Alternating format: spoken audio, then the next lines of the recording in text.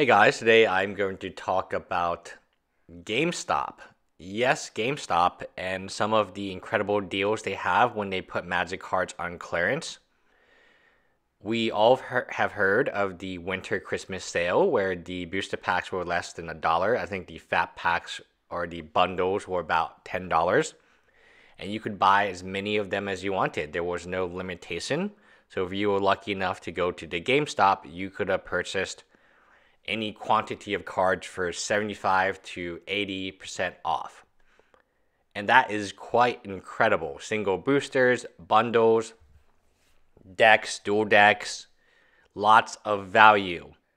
Now, on the website, you can't order this on the website anymore. They have a Iconic Masters free booster draft pack. So this is 10.99 and if you know anything about this pack, it is supposedly MSRP around $30. And that's pretty crazy that they're selling it for 60% off.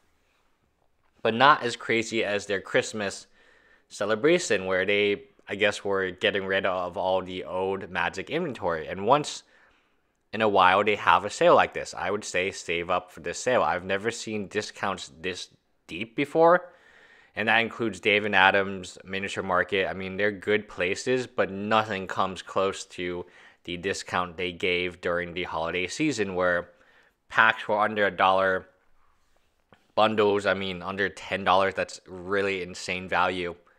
Plus, if you had GameStop reward cards and like you had points and stuff like that, you could get these things for like 90% off. Trade ins and all that. I know GameStop trade ins are not good, but when you're just interested in buying magic cards, it's very different. So there is a difference when you buy from someone and then you sell to someone. Tron told a lot of you guys are saying you had good experiences buying. That's not relevant for my video, previous video.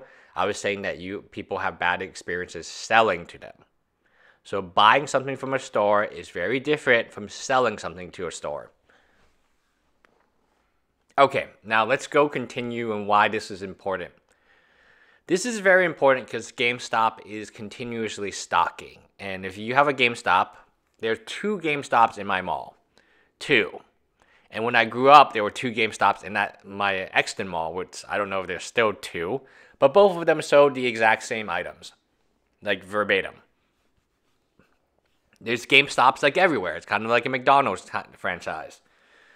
The reason this is important is the reason that Walmart is important as well. The distribution would get people not to go to your local game store. If the Master Series, which is supposedly special and supposedly was reserved for the local game stores, are now available at GameStop, Walmart, Target, any of these places, the product is no longer special. And the large, there is a way bigger casual audience. So the, casual audience is what I'm a little worried about here. So the casual audience would be going at Walmart. Maybe they're doing shopping, groceries. Maybe they're going to GameStop to buy a new video game. They could just be like, "Oh, hey, there's some Magic product. It's about the same as a game store, a local game store, and let me buy from them." By definition, they have no incentive to go to your FNM or your local game store to spend money there. FNM players are notorious for not spending money. Go to an FNM and people bring their own food, which if it's hot food, I get. But sometimes they bring their like Snickers bar or bottled water. They bring their own food, which is fine. Maybe they're saving money, but they're notoriously frugal individuals. At least in my FNMs that I played at, they don't buy any booster packs. They don't buy any singles. They buy everything online. They go there to FNM, and when the prize payout isn't what they expected, they complain about it online. And this is Houston. Most Magic players who go to larger events or go to or tournament grinders, the whole point of being a grinder is you eke out every last five cents. And you could be a player grinder, or you could be something like a a card shock or uh, card shark. It's been a while since I said the word shark, right? Where you say, hey, what do you value this at? And you nickel and dime someone to death. And I've seen that done. The local game store is not making a lot of money from competitive players. Competitive players know to buy singles online. The only person who doesn't know that is the casual player. So the casual player, you have this large card, maybe 90 to 95% of player base, I assume is casual, meaning they have never gone to a GP and they've never even gone to an FNM. Maybe like I see casual players at pre-releases, but it's not the same. So let's talk about the mindset of the casual player and where they're going to be located. Would the casual player more likely be at GameStop or a local game store? And this is a person who's no interest in FNM. GameStop. The more times they see the product, the more they understand that, oh, I can get this product at GameStop. I can get this product at the mall. I don't need to support a local game store that doesn't really, I don't really care about that. So why does this matter? Uh, this matters a lot. It used to be price. Local game stores used to have price and exclusive items like the Master Series. So you had to go to them. You did not have a choice. If you wanted Modern Masters 1 and you thought that was really exciting, you would have to go to a local game store. You would interact, maybe you do a draft, you might find a good community out there. That interaction for new players is completely wiped out by this business model which is just for money. I mean, I can summarize it very, very, very simply. If you give a local game store a product that people want, they will have to physically go to the store. That is foot traffic. Foot traffic, foot traffic has more value than just a person buying the pack.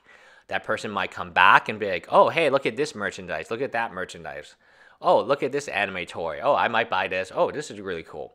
So it has a large impact, not just in Magic sales, but in other sales. Maybe they get into Yu Gi Oh! that they want to buy some Pokemon cards.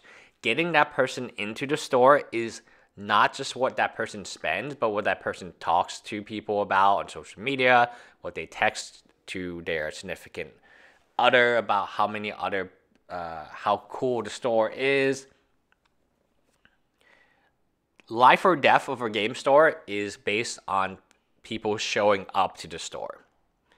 So, not necessarily on how much money they spend, but if they are having a good time, if they have a positive experience, and if they tell their friends. Now, price and selectivity, those were the things GameStops had the advantage on because Wizards of Coast WPN would give a better price to these stores. Now, with the internet and selection being so the internet right now is the king of price.